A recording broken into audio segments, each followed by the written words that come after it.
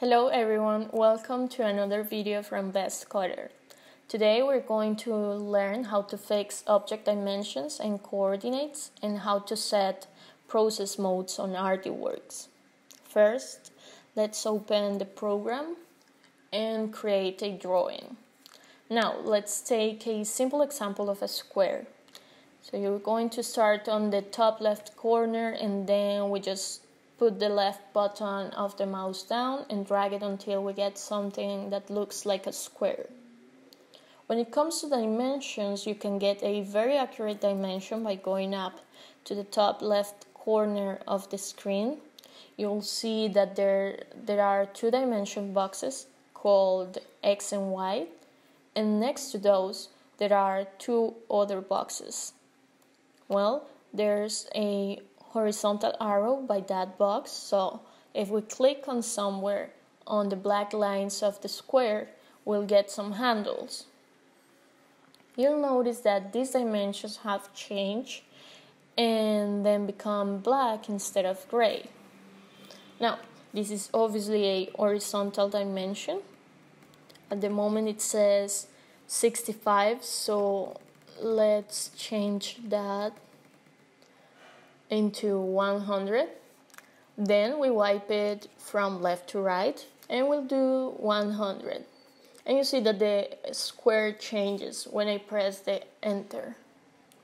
Then we'll make the other dimension 100 also. So again, we start on the left of the numbers, push the mouse button down and wipe it across to the right.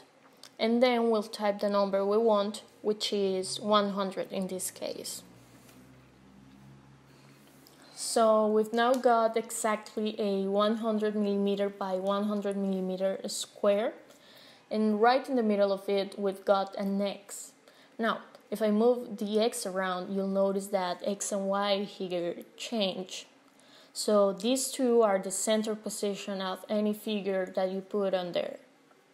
So let's move those to 300.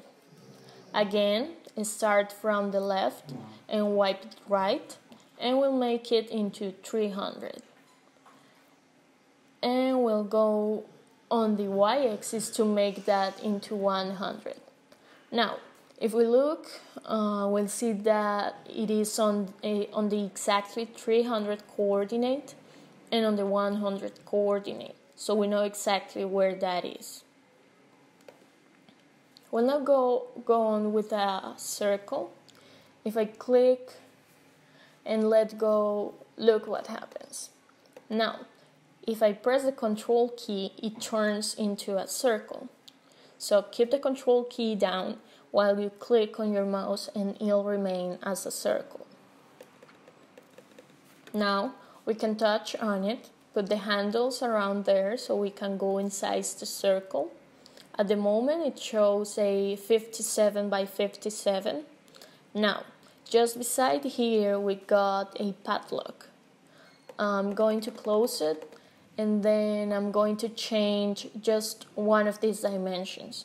It doesn't matter where, so we sweep that across and there and we'll make it into 50. And both dimensions will change to 50. Now, if I want this circle to line up perfectly in the middle of this square, what I've got to do is to remember what the coordinates are for the center of this. And they happen to be 300 by 100. So I'll go back and mark this one up and set these two 300. Let's do the same thing again. 300 enter by 100 enter. At this moment, we only have one layer, which is black. Now, for example, if we want the circle to be engraved and then cut out with a square, what we have to do is to add another layer. We can just pick one up of this and let's choose the outside one and let's choose it to be a red layer. Okay, so now we've got two separate features on there. The first one is the circle, which we will double click on the black. And look what we now get is a set of cutting parameters to come up. So we're on the black layer, which is the circle. The out says output speed. We can leave that at 100 millimeter per second.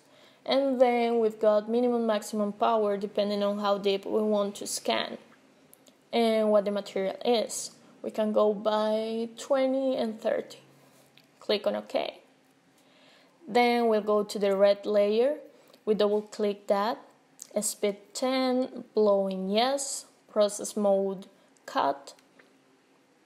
So again, we, we've only got one layer selected.